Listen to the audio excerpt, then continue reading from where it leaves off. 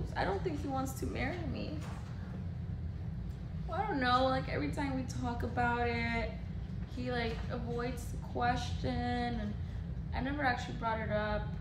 But um, I just I don't want to ask him to marry me. You know, I feel like he should propose to me. I don't think he wants me. Ever since I became pregnant, he just doesn't even look at me.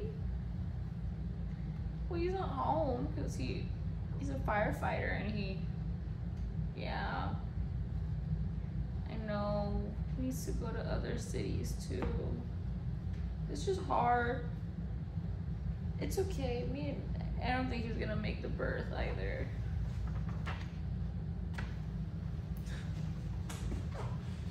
Oh my god! Will you marry me?